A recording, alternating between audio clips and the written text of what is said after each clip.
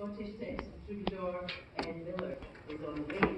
An evening with Kevin Burke mm Mhm. right in the heart of the great management audience, live recordings captured at Crossroads Music, Philadelphia, Alberta Rose Theatre in Portland, and Matt Roy's